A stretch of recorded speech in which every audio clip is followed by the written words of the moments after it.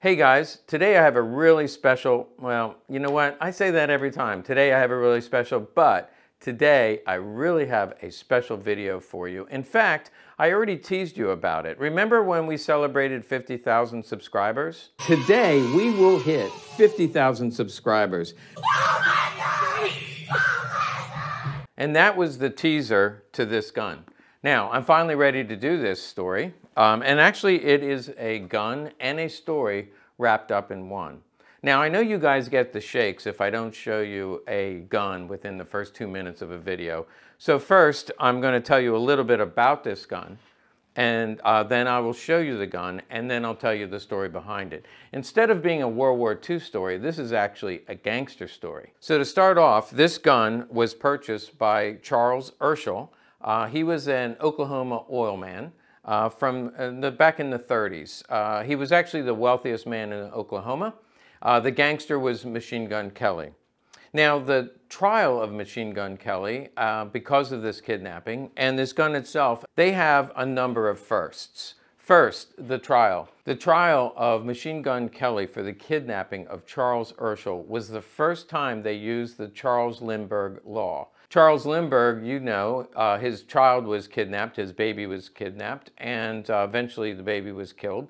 Um, and right after that, the government, the federal government, made kidnapping a federal crime and punishable by death. So it meant as soon as Charles Urschel was kidnapped, uh, they invoked the Lindbergh Law and the FBI got involved. J. Edgar Hoover was involved, and he assigned one of his crack detectives to handle the case. The second first is uh, this was the first trial where they allowed filming of the, uh, of the courtroom. It was like the crime of the century. This would be like the O.J. Simpson trial, except in Oklahoma, it was such a big deal. Oklahoma City was just filled with reporters and people coming in to watch this trial, and they allowed filming in this trial for the first time.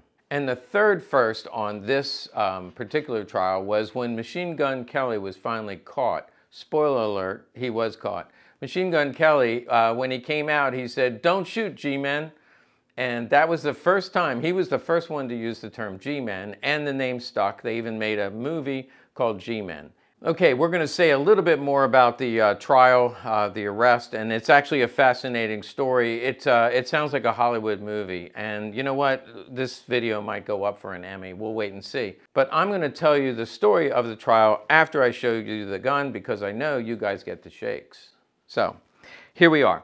Um, here's three first on this gun. First, as you're looking at this finish, you see that it is verchromt. That's a German word for a satin nickel finish. Now, I've done videos before on engraved guns, and you've seen gold engraved guns, you've seen chrome engraved guns, silver engraved, blue engraved.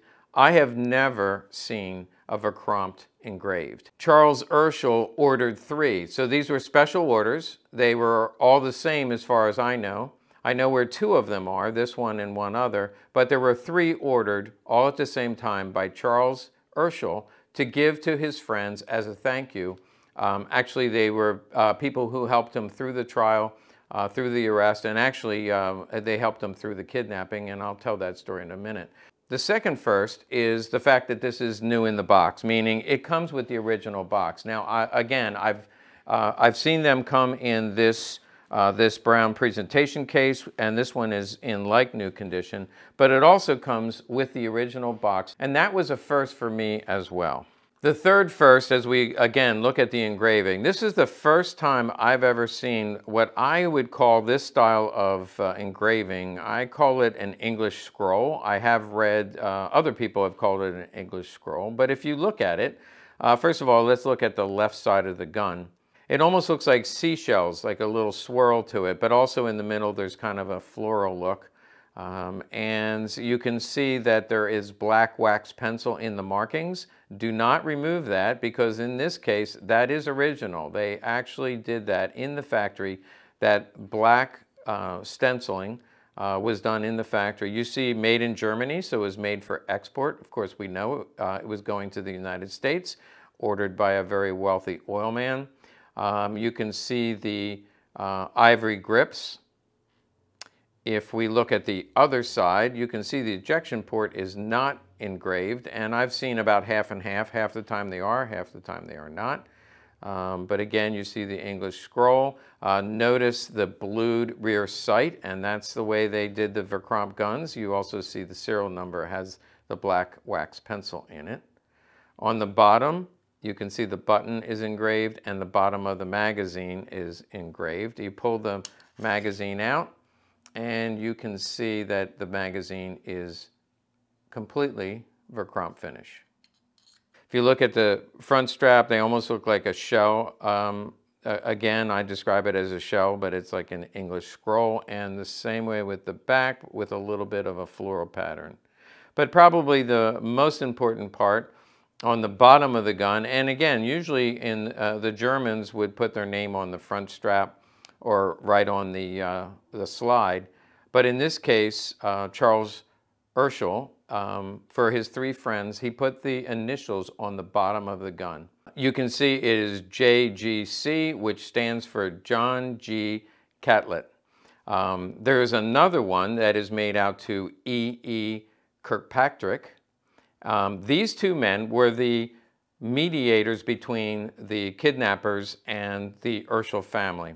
So um, let me get into the story in a little bit more detail. But again, this gun was a gift from Charles Urschel to John G. Catlett. Just before I move on, if I look at the serial number and I look it up in my database, this gun was made in 1933, but probably engraved afterwards. So in other words, um, they made the gun, uh, it was unfinished, unhardened.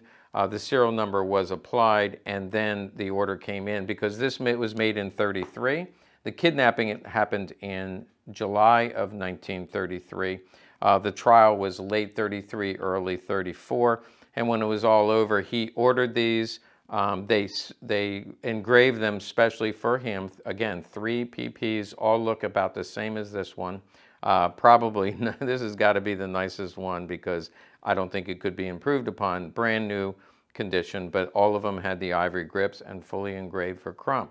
Um, so that would take a, at least uh, six months to fill the order. So probably these were presented to his friends in late 1934. Uh, before I move on, we should probably take a, uh, a closer look at the case. Again, um, I would I would think this was repro if I didn't know better. It's not. This is all original, just like the gun. The leather-like exterior is uh, there's uh, hardly a mark on it anywhere, and most of the ones I see are a little bit tattered. Um, the hinges all work great, and then the green interior is just beautiful. You can see there is a space for a cleaning rod. This did not come with one. I could easily put one in there. And there's also space for three dummy rounds, and I actually have original dummy rounds, so maybe I'll throw those in to a lucky buyer. Uh, I've already shown you it comes with a matching box, and of course that has the early tin with the factory logo on it. And of course, I just said the, uh, uh, the cleaning rod was missing, but here it is in the original box. So it comes with the cleaning rod and the tin um, and I do have the three dummy rounds here, so I'll just put these all together. Okay, now it's story time. It was a hot, muggy Oklahoma day in July of 1933. You know why I know that? Because every night in July in Oklahoma is hot and muggy. So um, it was actually the Urschels, uh, Mr. and Mrs. Urschel were playing bridge with their neighbors uh, the Jarretts. Um, they, were, they were good friends and often got together. They were out on the screened-in back porch. Um, that's actually recorded in this book, which is, this book was written in 1934, and look who the author is, Kirkpatrick. He was one of the ones that uh, got a gun as well.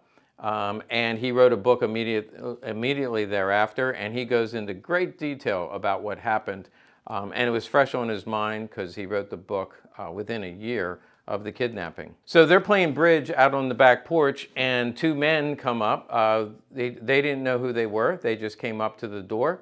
Um, they said, uh, we want Charles Urschel. Neither one of them answered them, so they took both men. So it was Mr. Jarrett and Mr. Urschel. They threw them in the back of the car. Now they walked up with a pistol uh, according to the uh, eyewitnesses eh, who later recalled, um, one man had a Thompson and the other guy had a pistol. So when they say get in the car and you're carrying a Thompson, looks like this, uh, you get in the car. And so that's what they did. Both men got in the car. Um, they drove about nine miles outside of the town, again, Oklahoma City. They were headed south, and they then questioned both men. They got their driver's licenses, and Mr. Jarrett had 50 bucks. They took it um, and threw him out of the car, and they kept uh, Mr. Urschel. Now, um, what they did with Mr. Urschel, they, they blindfolded him and put him on the floor of the back seat. And he must have been an incredibly smart man because uh, the things that he did in this moment of pure terror. Um, well, I just have to, like I said, this is like a Hollywood movie. So they put him in the back of the car. He remembers when he went over uh, railroad tracks, so he knew in his mind what road they were on. And then he uh, went through oil fields because he was an oil he was an oil man, and he could hear the rigs going, you know, the up and down of the rigs. He could hear it and he could smell it, so he knew the direction they were going. Um, they drove for a couple of hours. They got out, and he said it was in an oil field because he could hear the uh, machinery going. They switched cars, and he said it was, uh, it was a Cadillac, and he names the brand. Uh, he kept track of that. Uh, then they drove all night long south. Um, and uh, he didn't know it, but he ended up in Paradise, Texas, uh, just, just below Oklahoma. They kept them there for nine days, and they released them because the ransom was paid. Now, while he was in captivity, he could hear a plane coming at some hour. It was like 9 o'clock in the morning. He could hear a plane go by, going one direction. And then later in the day, he could hear a plane going in another direction. And he kept track of the time of when the planes went over. And it happened every day around the same time. He also kept track all nine days of what the weather was um, in that area, like when it rained, he could, uh, he knew that he would be able to tell the police. And the other thing that he did is he touched everything he possibly could in the house to leave his fingerprints everywhere so the police could figure out once they had these guys, they'd have all the evidence they needed. Now, while he's being held captive for nine days, um, they ask him, uh, who do you trust most in the world, um, you know, in terms of not going to the police, uh, people who care about you, who we can trust to carry, uh, to come through on the ransom money. And he gave them two names, uh, Kirkpatrick and John G. Catlett. For two days after the kidnapping, nobody heard anything. Um, finally, they got a package from Western Union. They don't do that anymore. Today it's FedEx. But Western Union delivered a package and it had a ransom note in it. There's actually a copy of the ransom note in the book and basically they asked for $200,000 in cash, unmarked bills in 20s. Now today it would be $2 million in hundreds, but um, back then it was $200,000 to get uh, Mr. Urschel back alive. They were of course told not to go to the police and they did. And the police immediately informed the FBI, remember the uh, Lindbergh kidnapping law, uh, they uh, contacted the FBI and the FBI sent in their, their best man. And you can see him right here. This is Gus Jones. Now he reported directly to J. Edgar Hoover, but he was the man that was sent in to um, solve the kidnapping of Charles Urschel. So John Catlett and Kirkpatrick, got to get these names right, um, they gathered the money together and they uh, agreed to meet with the kidnappers and do the drop, which they did. Everything went smoothly. And so, uh, again, nine days later, they released um, Urschel. Now, they found out later that he was in a hideaway for Machine Gun Kelly and his wife, Kathryn Kelly. Um, Urschel later said that he thought that Kathryn Kelly was the brains behind the operation, but Machine Gun Kelly and a couple other men, actually, at the end of the trial, 21 people were actually convicted of kidnapping and or aiding and abetting because um, the people in Texas, they had a hideaway, and the relatives and the family, they all kept their mouth shut. Nobody turned him in. He was a uh, bootlegger, a bootlegger, baby. I'm a bootlegger. what? Bootlegger the movie, baby. He was a bootlegger, and he was a um, bank robber. And of course, back in the 1930s, uh, during the Depression, uh, there was a lot of people who saw them as heroes. But nonetheless, this was the biggest uh, caper that Machine Gun Kelly ever tried to pull off. So they get the ransom money, and of course they think they're safe because they're in the middle of nowhere. I, uh, no offense to anybody who lives in Paradise, Texas, but back in the 30s, you were in the middle of nowhere. Um, but of course, uh, when Urschel talked to the FBI, he gave him the exact times of when the planes came over, when it rained, and from that information, it was actually American Airlines, which still flies out of uh, Dallas, Texas. I'm going to be there tomorrow on a flight out west. Um, but American Airlines was operating. They had the, the schedule of the planes, and they knew this is where the plane uh, crosses at that time, and this is where the other plane, they got X marks the spot, and they were able to go right to the farmhouse, more like a shed, um, and they arrested the Kellys, and that's when Machine Gun Kelly came out. Don't shoot, G-Man. So that's how it all went down, and um, Machine Gun Kelly and Kathryn Kelly were arrested, again, along with 21 other people that the FBI was able to round up. So the trial of Machine Gun Kelly and his crew, it happened almost immediately. Not like today, it would be, you know, it'd be uh, waiting to be tried for at least a year. But they tried him almost immediately. He was convicted. Um, most of the male members of the gang, of the Machine Gun Kelly gang, most of the male members were given life in prison.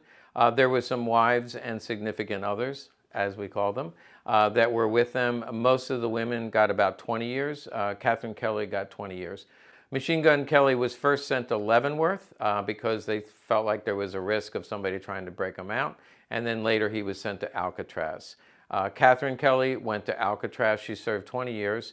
Um, and so she did uh, come out and uh, died in the late 50s. Machine Gun Kelly uh, died in prison in the 50s. One postscript to this story, which I found very interesting. In fact, um, I have a letter here. Uh, this is actually written by Kent Frates. And he is an attorney, and he writes this letter about the three guns that were given out. And it also says my, my grandfather, by marriage, uh, was Joseph Anthony Frates, and he got one of these guns too. So uh, Joseph Frates was friends and helpful to the Kellys. He actually gives the serial number of the gun.